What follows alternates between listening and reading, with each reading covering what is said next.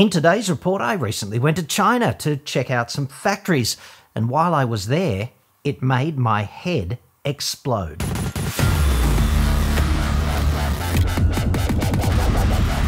At the end of 2023, the Chinese overtook South Korea and jumped on the automotive sales podium here in Australia.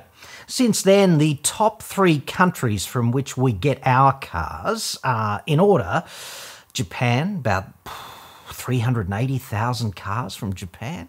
Then Thailand, which also means mainly Japanese cars, only made with slightly cheaper labour to a slightly lower standard about 270,000 cars there, and China, about 180,000 cars. 2025 is interesting because it's going to be the year when Chinese brands you've never heard of or are at least grossly unfamiliar with at this point going to metastasize through the Australian automotive market. There's nothing we can do about this. It's underway presently. And it's going to guaranteed upend established Japanese and South Korean car makers who've had a long time to plan for this but seemingly have done nothing to cope. Chinese brands MG and GWM are already both top 10 sellers here in Australia. The only brand named after a stripper, Chery, is here now also, and so is BYD, LDV, Haval rhymes with gravel, Zeekr, Foton, Deepal, JAC, and JAC. If that's not enough, on the way this year, GAC, AION, AION, Geely, Denza, Skywell, Leap Motor, Roewe, which is pronounced in an unknown way and spelt R O E W E, and Xpeng all coming soon to a showroom near you. Now, if that's not enough, and frankly it is, but if it's not enough, all Polestars are really Chinese. I know they would say Swedish, but they're actually made in China and owned by Geely in China. And in my view, simply maintaining a P.O. box in Gothenburg really doesn't count for that much. Geely also owns Volvo, of course, and some Volvos here in Australia, such as the XC60, I think, already come from China. Although how clearly this is disclosed in dealerships is unknown. Probably not very. And let's not forget Tesla. Every Tesla on sale today in Australia is a Chinese car, a Chinese made car. In five years' time, I'd suggest owning a Chinese car is going to be about as controversial as owning a Hyundai or a Kia today, so get used to it. China is actually the world's top exporter of manufactured products, one of only three countries in the trillion dollar export club in US dollars three and a half trillion US dollars to be precise. The other two are America, which is about 500 billion greenbacks behind, and Germany at just over 2 trillion US dollars, I think. We export endless Australian crapola to China too, so it's a bilateral trade deal, obviously. The top 10 items that we send there are iron ore, coal, and the coal would be both thermal and metallurgical. Thermal, obviously, for power generation, and metallurgical for the manufacture of steel. Plus, natural gas, gold, food, wool, copper, and beverages, because we are pretty good at beverages here in Australia. And yeah, dude, I know that's really only eight things, and I did say 10, but officially, food is broken down into three categories dairy, meat, and grains, and I just bundled them all up to together because, hey, food. The bottom line is that on trade, we are joined at the hip to China. That's a done deal. They need our resources, and you, I would argue, really don't want to live without all the shit that they make and send here at a fairly good price. Because, of course, you might be able to buy some of it from Germany at, I don't know, 10 times the price and that might stick in the Australian craw somewhat, faced with that proposition. Now, this gets complex quickly, okay? Because at the end of the pandemic, the launch of the current model Ford Ranger was delayed because I think it was 393 unique parts from China were simply unavailable. This is an American brand making a ute in Thailand for Australia, which got stalled on the grid because 400 parts from China were simply not forthcoming. Hashtag globalization. Most Ranger owners would probably not consider their ute to be 5 to 10% Chinese, but hey, dude, facts are facts. So, isn't it time that we had a properly grown up conversation about the state of Chinese manufacturing and what the future looks like for Australia? If you say made in China to a median bogan here in Australia, said median bogan is going to get an image in his head of quality and cost, right? Both pretty low. And my favourite in house example of dodgy Chinese manufacturing is this gorgeous tool mastered tap wrench. What a thing of beauty. Five parts. It's got two handles, a body, and two hardened jaws. And it's an altogether terrible tool, even when manufactured well, which this one, frankly, is not mainly because the dynamic jaw is supposed to be connected to the handle with a left-handed thread, and the handle is supposed to thread through the body with a right-handed thread, which gives you this acceleration of the jaw when you twist the handle. It's kind of clever. It's an established piece of design. Lots of tap wrenches are this way. Unfortunately for this tap wrench, however, the manufacturing tolerances was so preposterously crap that the jaw simply does not thread onto the handle. It just falls out. So, yay, well done, Chinese manufacturing. And I know I could have taken it back and they would have replaced it with a slightly less crap one that worked slightly better, but I kept it for its inherent sentimental value. This kind of experience, and we've all had them, colours one's perception of Chinese manufacturing. But that is really not the full story. I had a generally cheap, nasty impression of Chinese manufacturing until recently when I actually went there to check it out.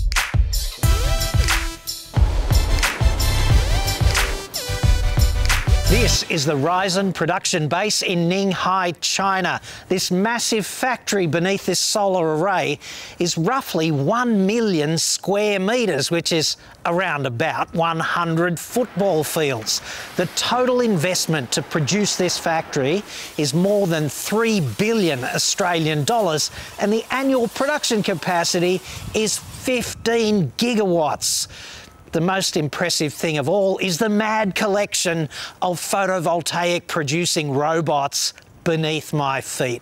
So let's go and check that out right now. Risen is one of the world's leading manufacturers of solar panels.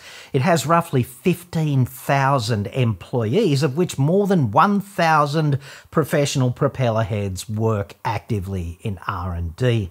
The company holds over 740 proprietary patents. You can't miss them because you have to drive right past them to visit the production line, which you can't walk onto without wearing the full anti static frock.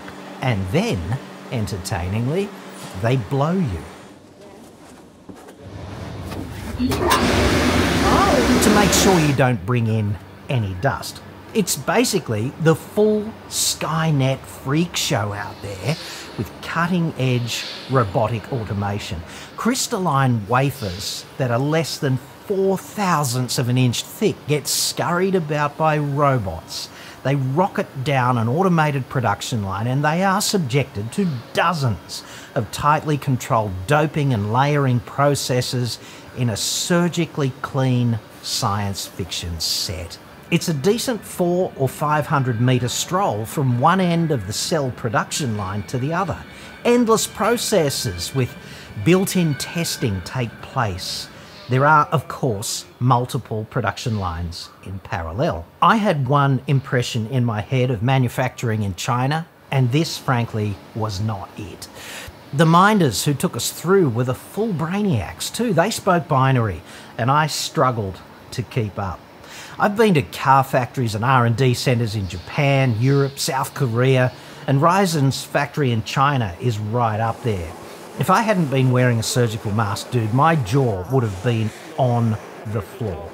There are people at Risen, and all they do is think about heterogeneous junction, zero bus bar technology, optimizing metallic paste and advanced interconnection systems, et frickin' cetera. It's closer to rocket science than you might think, and a lot more reliable than SpaceX. This is properly advanced technology, and they develop it in house. This is the end of the line, literally. We've just seen thousands of cells rocketing down here, each one precisely controlled, and miraculously enough, less than 100 microns thick, which is the thickness of a human hair. And they're being packaged up right here to go next door to be turned into panels. Just behind the ladies in pink here is the first time that these cells get exposed to sunlight. It happens in the blink of an eye, and every cell that rockets down this line is tested for functionality before it goes over there. At this point, I'm going to challenge you in the comments below to show me any company in Australia with 1,000 professionals working in R&D. Australia's biggest manufacturer, can you guess? It's BlueScope Steel, which has 16,500 employees. And the next is, do you want to guess again? Anyone? Visy, which takes out the trash and makes cardboard boxes. 11,000 employees there. Now, I'm not exactly sure how much R&D takes place with cardboard boxes today or garbage bin emptying and things of that nature or even steel, which is a fairly established concept. But I am absolutely certain that you don't need a thousand people to do that R&D. So for me, this was a huge reality check. Turning the cells into panels is a far more conventional production line kind of process. It's more like the manufacturing that you're used to looking at, I guess, certainly the manufacturing that I've been exposed to. Less Skynet and more humans, but still pretty high tech, plenty of robots and plenty of places you really shouldn't put your fingers. It's pretty hard for me to convey the scale of this operation, so let me put it to you like this. At the end of 2023, Risen had production capacity of 35 gigawatts. And I know that's a big, scary number, right? So it might not be that relatable. It's just power, like two kilowatts coming out of the wall or something, only a lot more than that like a really, really, really bright light bulb or something. It's the hypothetical power output of all the panels that Risen can make in one year, okay? 35 gigawatts. Now, how does that measure up?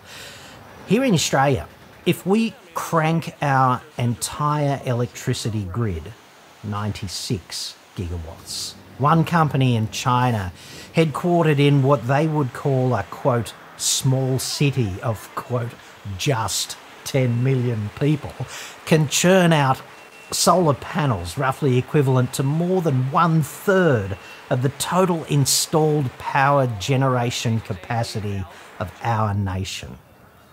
Just let that sink in, okay? They already have plans in place to double that production capacity.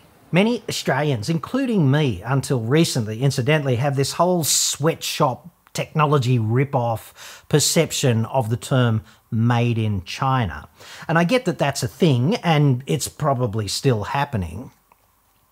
Back in the financial crisis, Ford narrowly sidestepped the Chapter 11 bankruptcy that befell GM and Chrysler. You probably remember that peripherally if you're interested in the car market, okay? And they did it by having a fire sale. They sold Aston Martin to the Middle East and they got rid of uh, Land Rover and Jaguar. They went to India and Volvo went to Geely in China for 1.8 billion US dollars.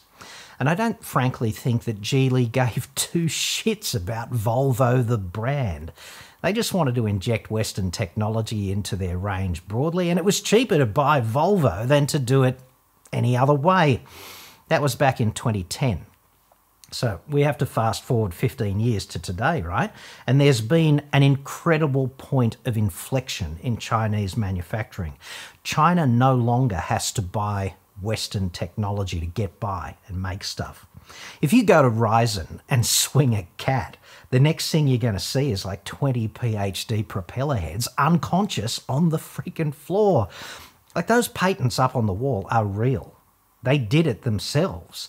They've got their own brains trust. Pretty clearly, they've become very good at innovation while over here we've been obsessed with things like, I don't know, pronouns, net zero, the voice. This has been an epic covert overtaking maneuver by China. We're increasingly dependent on China, but they also need us to keep the fires burning and the raw materials flooding in and the food, like food, so useful. What remains to be seen is whether, how would you put it, that whether that codependency can be maintained in a reasonably amicable way. I certainly hope it can. This final bit is going to make your head explode, dude, like if it hasn't already. Back in 1983, and I know I'm such an old fart, but that was the year after I started university, someone named Professor Martin Green, of whom you've probably never heard, started work on a new kind of solar cell. And he did this at the University of New South Wales in Sydney. Basically, Professor Green achieved a 50% efficiency improvement in solar cells with his technology, which was called PERC, P E R C. You can look it up. I wrote a story about that in a magazine called The Bulletin in the early 1990s, and I remember thinking how fucking brainy Australia was. I was a very idealistic young engineer at the time. PERC was not commercialised until 2012 because it takes a lot of brainiac legwork to get nice ideas into production. But after that, dude, it dominated. And by 2021, over 90% of solar cells globally were based on that PERC Australian technology developed at the University of New South Wales. It was actually awarded the 2022 Millennium Technology Prize the 2023 VinFuture Grand Prize, and the 2023 Queen Elizabeth Prize for Engineering.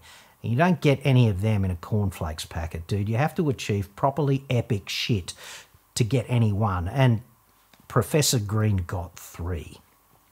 His former PhD student, Dr. Zhengrong Shi, went out and set up one of the world's largest solar panel manufacturing companies in China not Risen. Today, over 80% of the world's solar panels come from China.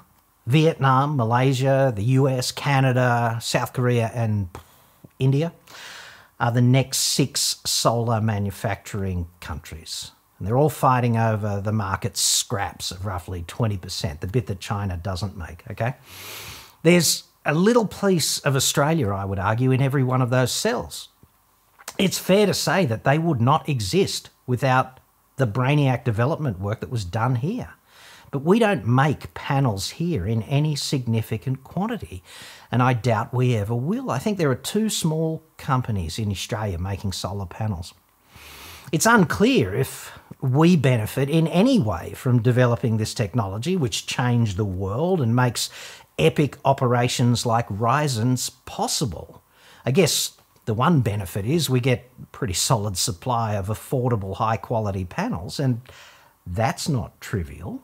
And I'm not trying to be biased either way here. I'm just giving you the facts of which you can make whatever you want. And I'd love you to let me know what you think about all of this in the comments.